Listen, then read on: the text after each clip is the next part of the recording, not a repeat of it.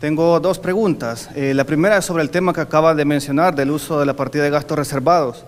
Eh, una de sus principales promesas en campaña fue desaparecer la partida de gastos reservados, eh, que como usted mismo acaba de mencionar, otros gobiernos han utilizado para, para cualquier cosa que ha terminado en corrupción, ¿verdad?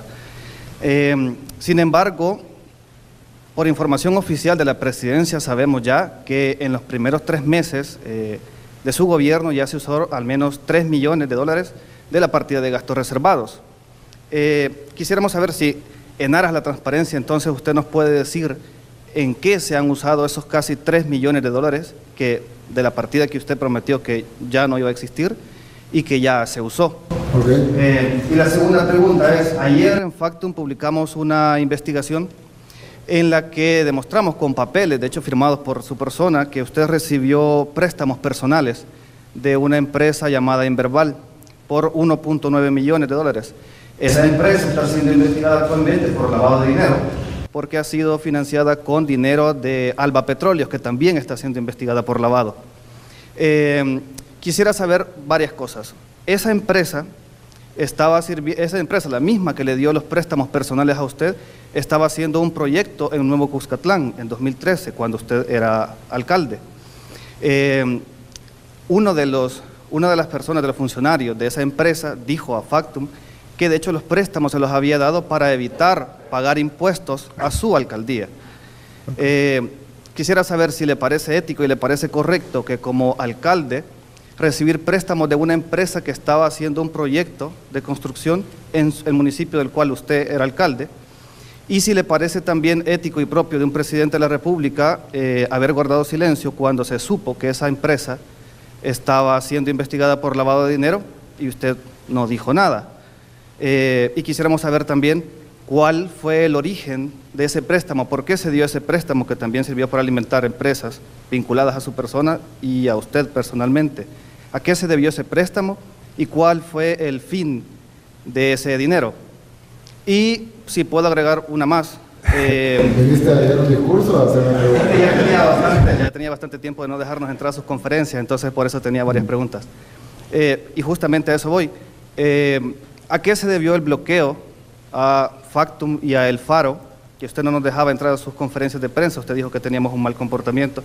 Quisiera saber qué es, cuál fue ese mal comportamiento, si nos puede explicar, y a qué se debió ahora su cambio de, de actitud y a dejarnos entrar a preguntar.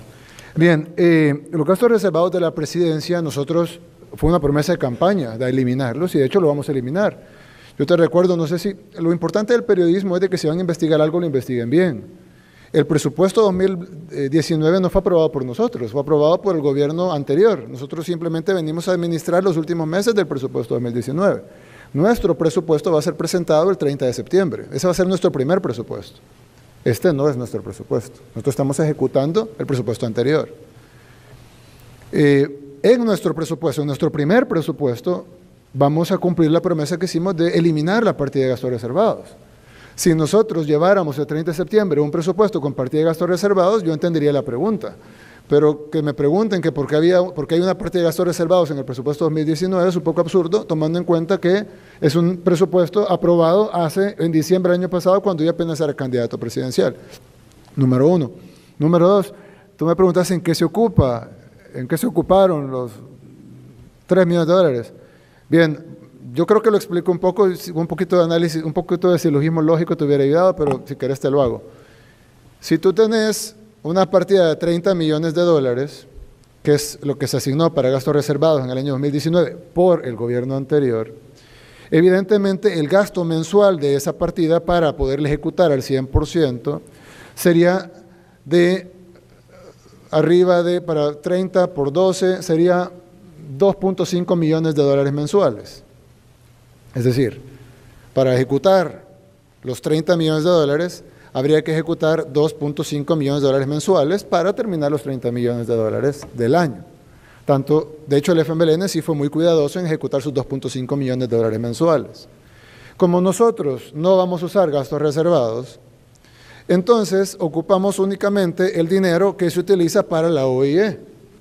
Por eso es que en lugar de ocupar 2.5 millones mensuales, que serían 7.5 millones en tres meses, solo hemos ocupado 3 millones, porque únicamente hemos ocupado la partida de los gastos de la OIE y no hemos ocupado la partida que se ocupaba para relojes, perfumes, ropa, trajes de 5 mil dólares, eh, collares de 50 mil dólares, etcétera, sino que únicamente estamos ocupando la parte de la OIE. Por eso es que el monto es sustancialmente menor y lo que hemos gastado nosotros en tres meses equivale a un mes de los últimos meses del gobierno anterior. Y, ojo, la partida de gastos reservados en el tiempo de Mauricio Funes era de 70 millones de dólares. Es decir, estamos hablando de 5.8 millones de dólares mensuales. Es decir, que nosotros en tres meses hemos ocupado la mitad de lo que ocupaba Mauricio Funes en un mes. ¿Por qué? Porque solo estamos ocupando la parte que vamos, que de la OIE. ¿Cómo vamos a eliminar la partida, esa partida? La vamos a eliminar en nuestro primer presupuesto que se va a presentar el 30 de septiembre, que ya no va a llevar esa partida y únicamente va a, llevar los gastos desglosados de la OIE y auditados de la OIE. Eh, esa tu primera pregunta, hiciste cuatro. La segunda, el tema de... Señor presidente, usted dijo que la OIE tiene su propio presupuesto, aparte de la partida de gastos reservados, lo acaba de decir. Es decir, son partidas diferentes. No, no dije eso. Eh, por eso digo que hay que, hay que, hay que investigar bien para no venir a decir tonteras. Mira, el, la partida de gastos reservados incluye los gastos de la OIE en su totalidad.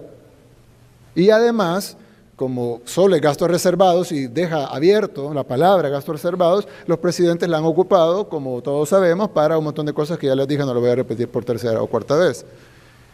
Ahora únicamente vamos a dejar la partida de la OIE. El OIE no tiene otro presupuesto. El presupuesto de la OIE sale de la partida de gastos reservados. Y ahora únicamente en nuestro presupuesto solo estamos gastando lo de la OIE y en el presupuesto que nosotros pongamos únicamente irá a la partida de la OIE. Ya no van a ir la partida de gastos reservados, solo irá a la partida de la OIE que antes salía de la partida de gastos reservados. ¿Se entiende? ¿Sí? Ok, bien, la segunda pregunta que hiciste, que hiciste cuatro, eh, fue sobre el reportaje que ustedes sacaron hoy, ayer pues, de nuevo, yo no entiendo cuál es el reportaje, porque es un refrito de un reportaje que el Faro sacó en enero. Hoy, me mandaron el reportaje por WhatsApp y yo lo vi y dije, ¿y esto? ¿Pero por qué me mandas esto si esto es de la campaña? Y me dijeron, no, no, es de, hoy. Y yo le dije, no, esto es de la campaña, esto lo sacaron un, mes antes de las elecciones. No, no, léelo, y lo leo, y sí, esto es lo de la campaña. Y me dijeron, no, no, esto salió hoy. Y ve la fecha, y veo la fecha, sí, era de, era de ayer. Pero eso salió, esto lo publicó textualmente todo lo que dice es casi que como cuando alguien viene y agarra un trabajo del colegio de un amigo y solo le cambia unas palabras para que ponerle, poner que es mío, es exactamente el reportaje del Faro de enero. Y yo ya di, ya di explicación de eso. La voy a volver a dar solo para que no digan de que no la quiero dar. Pero ojo, no vayan a hacer otro refrito, lo vuelvan a publicar en octubre y me van a volver a preguntar sobre lo que ya expliqué en enero y lo voy a explicar ahora porque en octubre ya no lo explico.